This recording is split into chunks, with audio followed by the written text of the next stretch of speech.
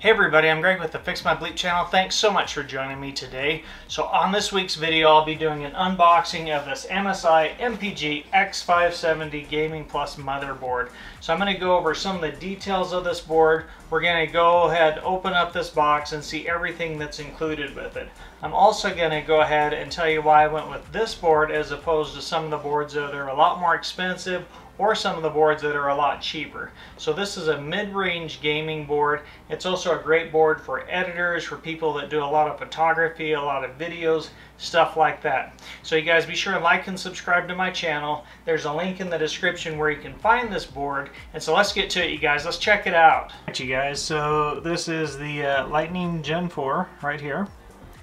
This is also AMD uh, Ryzen 5000 desktop ready.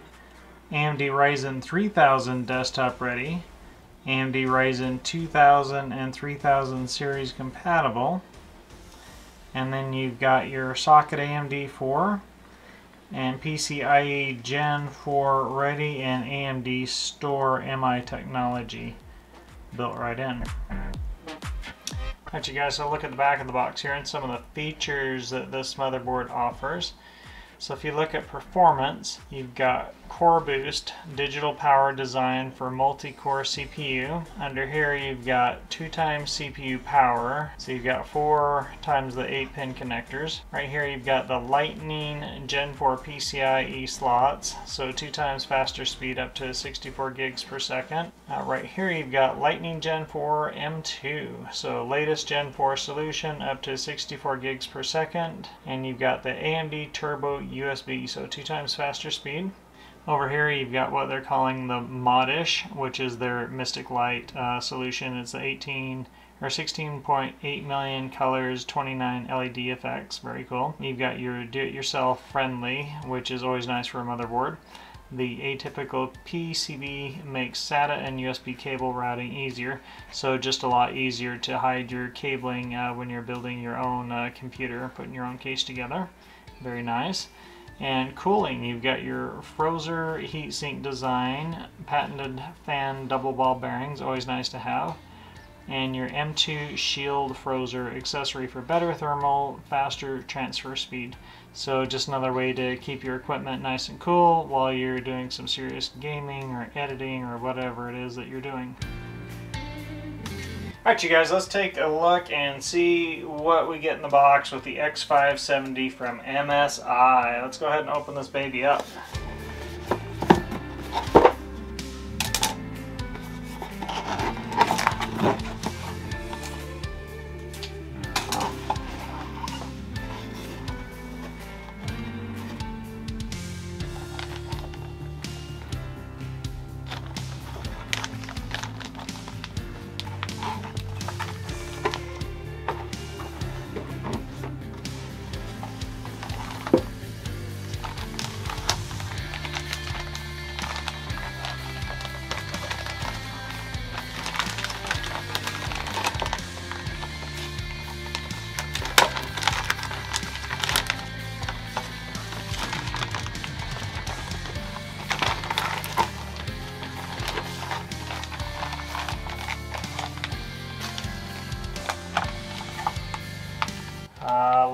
You guys.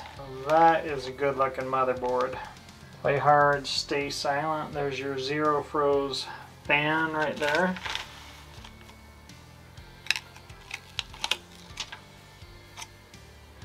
Little MSI fan. Okay everybody, so a quick look at the ports we have on the back of this main board. So you'll notice they built in a BIOS flash button. Super handy and convenient on any motherboard. So it's just built right into the board, this little button right here. And then next to it we've got USB 2.0 ports right here.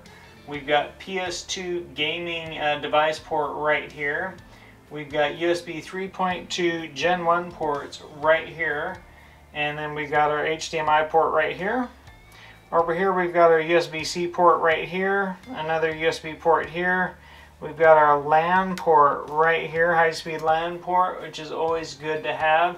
More USB 3.2 Gen 2 ports right here. We've got our HD audio ports right here, and then we've got our optical out port right here, you guys. So, uh, very well put together board. Alright, you guys, I'm going to turn the board. We're going to take a look at the DIMMs over here. So this has the four DIMM slots. So this will accept four DIMMs, dual channel, DDR4 up to 128 gig, and it'll run at uh, 4400 megahertz.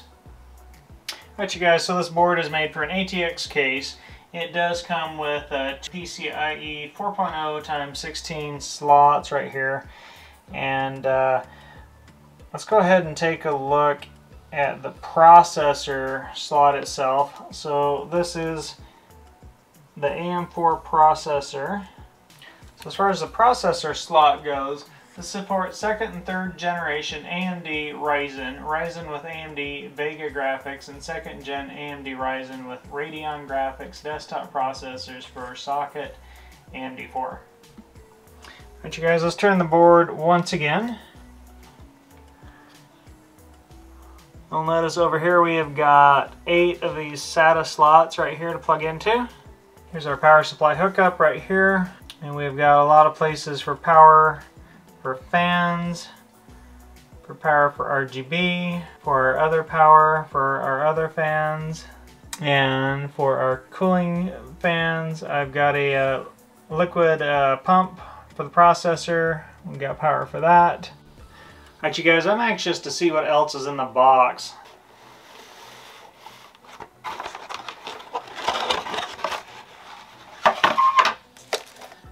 Okay, we've got a CD, DVD CD. Got a cool little logo from MSI True Gaming. A couple of SATA cables. We've got a 90 there and just a straight SATA. Okay, there's a heat sink for our drive. Uh, we've got some, looks like some supports for the board. Keep it up off of the uh, case. There's our back plate for the board. And true gaming information about the board. Thank you, blah, blah, blah standoffs. Quick installation guide, always fun to have. Random screw. And of course our booklet right here. MPG booklet, lots of fun reading. That is everything in the box, you guys. Alright you guys, so that's a look at everything unpacked from the box. I do really, uh, I am really excited to get this board installed into my case and then once I've done that I'll do a full-on review on the board once it's up and running let you know how everything's working on this board and the features if they all actually work and everything. I did want to point at the uh, SSD slot right here, the M2 and then the 5 PCIe slot. So you do have the 4.0, uh, you do have the PCIe 4.0 times 16 slots right here, and then your other PCIe slots. And this board does have ample plugs and everything built into it. Looks like it's going to be a really good board. It's, like I said earlier, it's a mid-range board. So it's not the top price board. It's certainly not the lowest price board. It's about a mid-price range board. All right, the cost on this board was about $159. But that is a look at everything that was in the box. There's the board itself. There's all the parts and everything that was included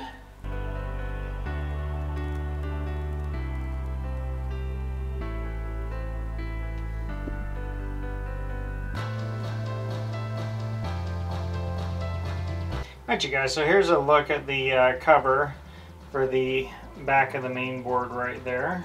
This will cover all of your ports right there. And then here's a better look at the heat sink for the solid state drive for the M2.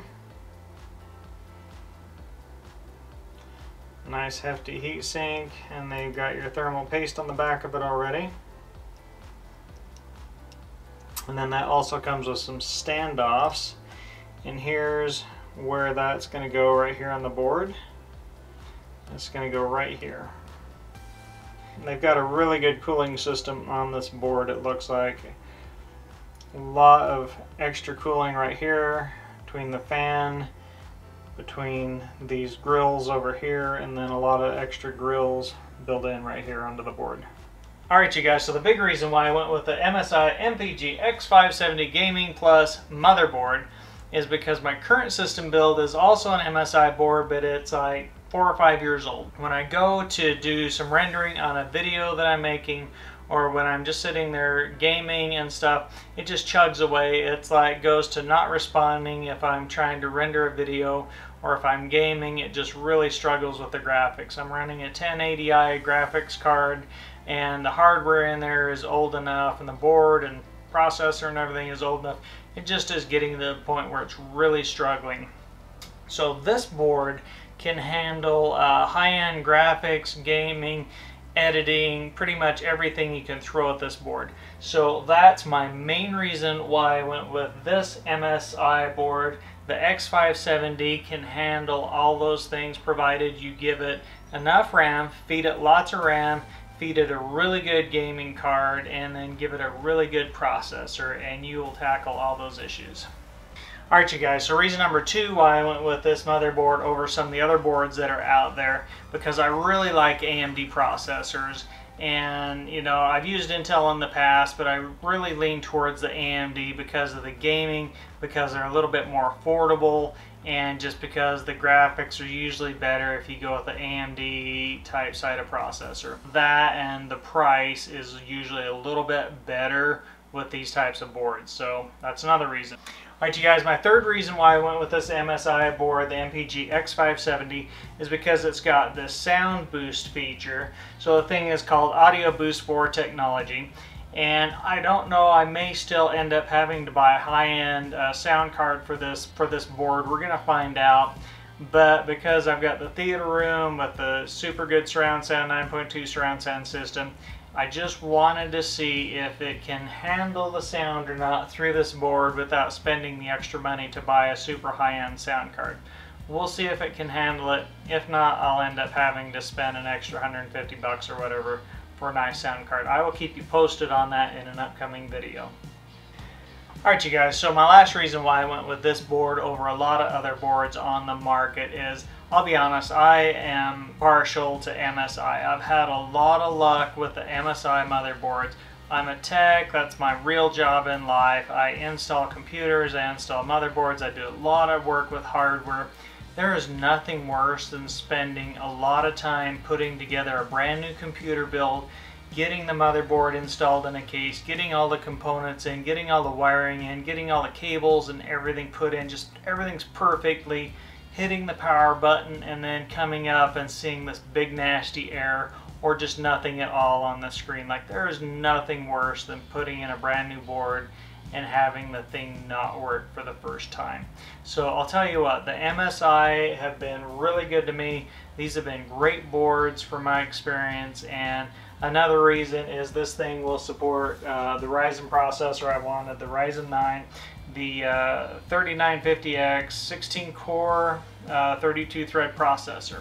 I've just had really good luck with MSI and we'll see. I mean knock on wood this thing will will be rock solid like these other boards have been. So Alright you guys, so I hope this video is really helpful for you. I'd love to hear what kind of motherboard you're putting in your own systems or your own builds. Be sure and stay tuned for the review on this thing coming up later on. Check out these other awesome videos you guys and thanks again.